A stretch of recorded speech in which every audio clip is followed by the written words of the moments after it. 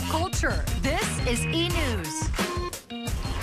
So, uh, Courteney Cox, let's talk about her for a second. Absolutely. She returns to Cougar Town tonight, but it's not just her character who's facing the realities of aging, dreadful aging.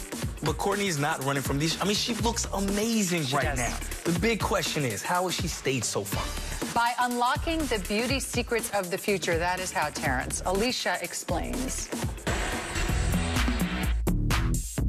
Smoldering eyes, a toned tummy, and flawless skin. Courteney Cox strips down for the launch of New You magazine. We're behind the scenes with the nearly nude 48 year old beauty who poses seductively on a sofa with just a light blanket covering her backside for her sexy cover photo shoot. In another pic, the actress chooses a chic blazer but skips the blouse and bra.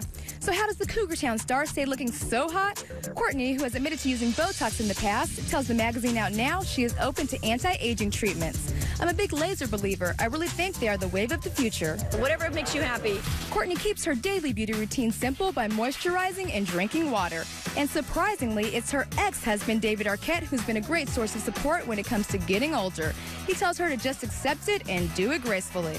De stressing on the weekends is another way to keep the former Friends star young. She says she hangs out with her daughter Coco. A personal chef cooks for them, and then it's Manny and massage time.